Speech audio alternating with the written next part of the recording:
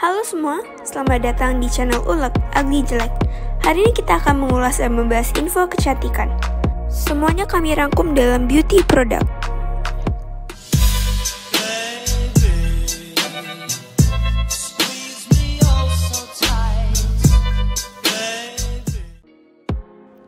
Seiring perkembangan style dan kebutuhan wanita untuk tampil cantik, saat ini cukup banyak produk kecantikan yang ada di pasaran. Tak hanya untuk riasan wajah, untuk menghias bibir saja ternyata juga ada banyak. Berikut ulek rangkum jenis lip produk beserta fungsinya. 1. Lipstick Produk kecantikan pertama yang tentunya sudah Anda kenal tentu saja lipstick. Alat ini termasuk yang pertama muncul sebagai riasan bibir. Warnanya pun umumnya merah sehingga populer dengan sebutan pemerah bibir. Saat ini lipstick tersedia dalam banyak warna, dari merah, merah tua, coklat, hingga hitam. Alat pewarna bibir ini berbentuk stick dengan bahan padat.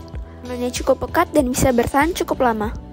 Sebenarnya banyak produk lipstick yang mampu memberikan efek yang lebih variatif, seperti lipstick bibir untuk memberikan kesan matte, satin maupun glossy yang lebih mengkilap. 2. Lip liner seperti namanya, jenis lip product dan fungsinya dari produk satu ini memiliki fungsi penting untuk membingkai dan mempertegas bentuk bibir. Bentuk lip liner yang mirip dengan pensil alis membuatnya mudah untuk mengaplikasikannya. Dalam penggunaannya, lip liner terutama untuk merapikan lipstick dan sekaligus memberikan efek yang rapi dan tidak belepotan, alat ini bisa kita aplikasikan pada sepanjang garis bibir. 3 lip gloss. Untuk jenis lip product dan fungsinya produk ini lebih mirip dengan lip butter, namun dengan kandungan minyak yang lebih besar lagi. Namun selain untuk mewarnai bibir, lip gloss juga berguna untuk melembabkan bibir. Produk yang satu ini biasanya untuk menyempurnakan polesan lipstick agar memberikan kesan yang glossy dan berkilau. Anda bisa menggunakan alat ini sebagai alternatif selain lip balm maupun lip butter.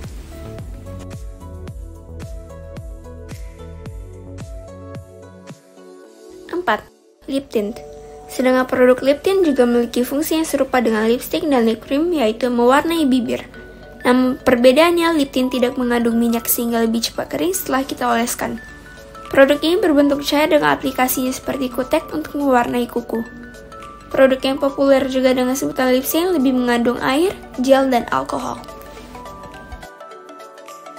Nah, itu dia informasi kecantikan kita terbaru versi ulek. Jangan lupa tinggalkan like, comment, and subscribe. See you on next video.